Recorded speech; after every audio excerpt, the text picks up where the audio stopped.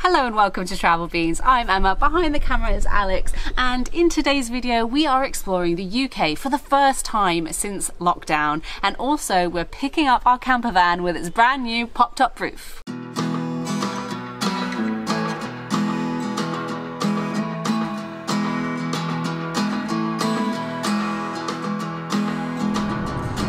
Today is a very exciting day, you guys, for two reasons. One is that we can finally travel around in England again. And the second reason is we are driving three hours north to go and collect our camper van that has been in the shops for the last few days getting a pop top fitted. For those of you who don't know what a pop top is, it's essentially a camper van that has a roof that looks like a normal roof, but when it's static, you can actually push the roof up to extend the ceiling so we can actually stand up whilst inside the van. Also, we're getting a bed with a scenic canvas, which means we can take off everything so we're not restricted, so we can sit up and reason we want to have it is for wildlife. Yeah. That's been the thing that's been getting us through the lockdown is going off and walking around nature reserves and filming wildlife. I've seen some amazing stuff recently. I've been dying to show you this awesome clip of this kestrel that had caught a mouse and was giving them a taxi to his death. that poor mouse had no idea what was going on. But we also saw some really cool stuff. I've seen a water vole. I didn't even know what that was. Yeah, Uh, kingfisher. a kingfisher, loads of just awesome birds, deer, and lots of general wildlife, which is why we're so excited for this conversion because it is going to hopefully allow us to see a lot of stuff around Europe.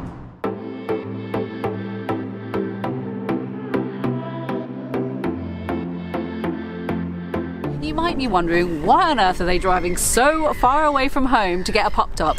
And the reason is this is the only company in England that we could find that could book us in before about August, September time. So with COVID at the moment, there's been a bit of a camper van life boom, um, as many of you may have noticed. So anything to do with camper vans is getting booked up really, really quickly. Another thing is with the build, we couldn't actually progress that much further than what we've done before getting the pop top fitted because the van actually has to be empty when they fit the roofs. So that's something worth bearing in mind if you're thinking of getting a pop top. They may charge a little bit extra if you already have all your furnishings fitted. Today has also been a really nice excuse to get away from our little hometown and see something a little bit different. On our way to go and pick up our van, we've stopped by this place here that seems like some kind of nature reserve. There are lakes either side of the main road that you drive through, and we just had to stop and have a look.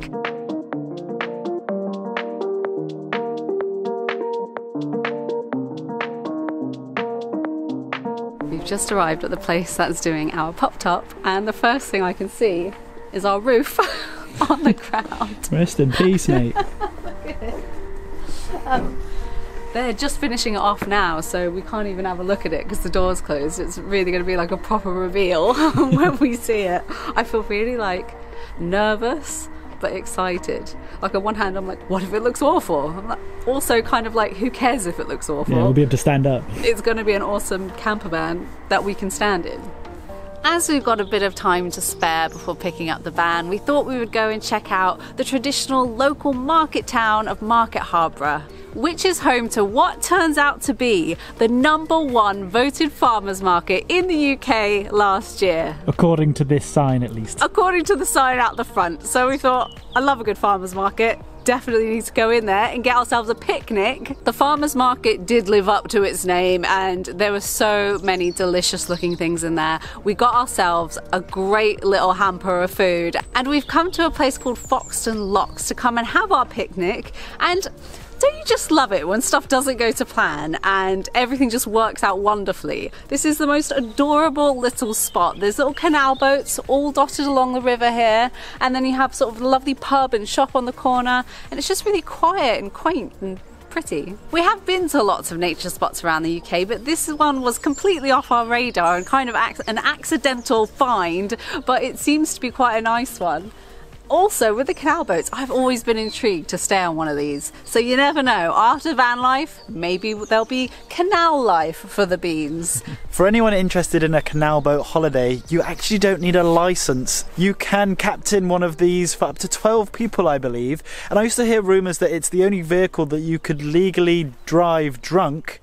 or at least would have alcohol. I've just googled it, and unfortunately, that isn't true. No.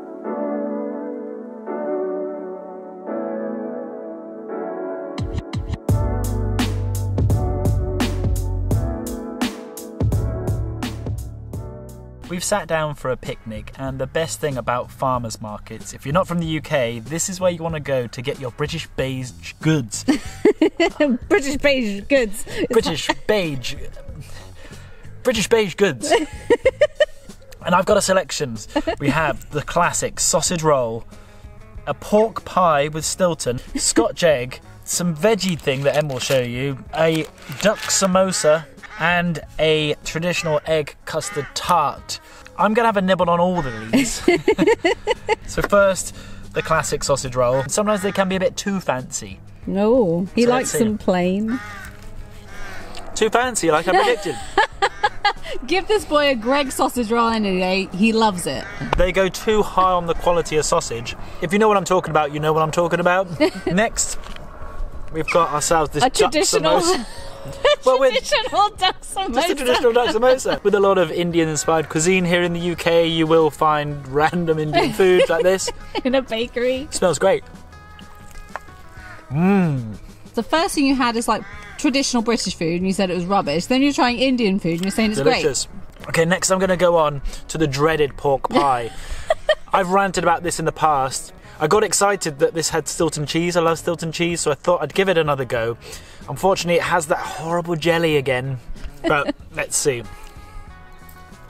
The classic thing about Stilton is it overpowers everything.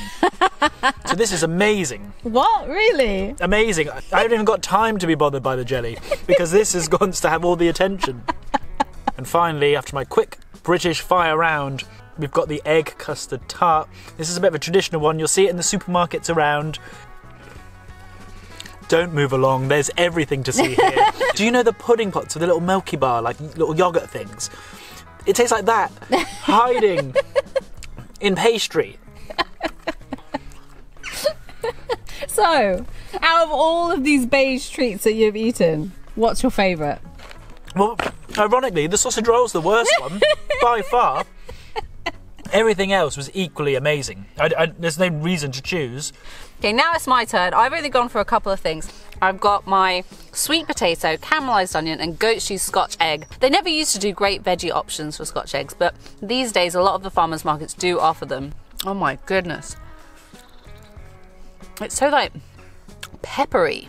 Oh, that's really, really, that's maybe one of the best ones I've had, flavour wise. And next up is a Wensleydale and leek pasty roll thing It's basically a veggie sausage roll. basically a veggie sausage roll.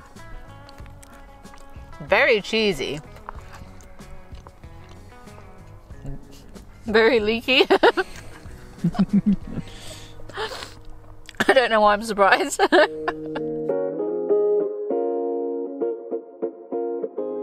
After a picnic and a short walk, it was finally time to go and pick up our van. Want to say it's a moment of truth, but I can see it parked out the front already and it looks amazing. it looks way better than I thought it would look. In the back of my mind, I was a little like dubious, like, oh, maybe it won't look as good as I think it's gonna look, because I haven't seen any long wheelbase T4s with the pop top. This is the first one I've seen, and I like what I see. Let's go check it out properly.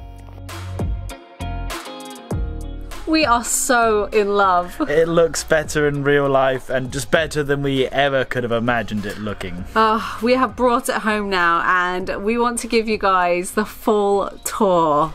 This is the inside of the van with the roof down. So there's really not that much difference to how it was before. It's the exact same height, if not a little bit higher, where this panel is at the back. And it's all kind of left untrimmed and unfinished at the moment because the guys at the shop weren't sure how we were going to finish the band So they've left it all for us pretty open. I guess I'll show you what it looks like open because it's all about what it's going to look like when it's open and the extra space that it gives us. And I thought we may as well show you how easy or difficult it is to open. Um, so basically, you have these two straps here and here that hold the whole roof in place. So you just have to undo these, and then once that's undone, you literally just push.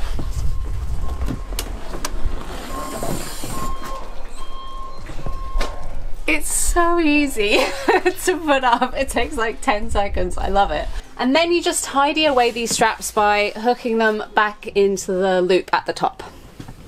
And once these are all tucked away nice and tidy, you just push and this part goes off as well. So that opens up this whole area for standing. I also really want to show you how much light this thing lets in. It's incredible. Um, here we have a big old window at the front to let in loads of light. And then we also have these side windows with mesh panels to let in more light and a bit of ventilation from the top. We have one of these on each side. And then the last part, which is really exciting for our nature spotting part of our trips, is the scenic canvas feature. And can you imagine what it's going to be like sat up here with a cup of tea looking out at the nature in whatever wildlife spot we find ourselves in. This excites me more than any other part of the van for that reason. I can just completely imagine it. Another really great feature that we have added on is the bed. So not only can we sit up here and look out at the wildlife, this does actually come with a mattress so you can use this as a bed so if we argue if we argue I have a place to go it kind of future proofs the van as well so for anyone watching who have kids you can actually have your double bed downstairs and you can have another bed that would easily sleep a couple of kids up here as well. Lastly, we just want to show you how to actually put the pop top roof down. It's actually not as easy as putting it up, but it's nowhere near as hard as we thought it was going to be.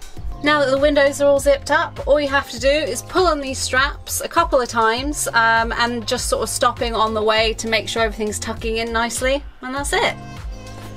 I must say I was a little bit concerned before getting the pop top that it would be really difficult to take down but I can now confirm that it's not that difficult and so I'm really excited to be able to use this pop top so many times when we take it out on adventures. If you're wondering about the price, I can confirm they don't come cheap. Um, it's definitely worth shopping around because the prices do vary a lot depending on where you go. We paid about, well, just over £3,000 for ours, and that is for the scenic canvas and the optional bed. Um, for us, it's definitely worth it. I think just the the best of both worlds that you get from having a short height van during the day, but being able to pop it up and have that extra space when you want it for us is well worth it. But obviously, that's not going to be for everyone, and there's always a hard high roof option as well for others.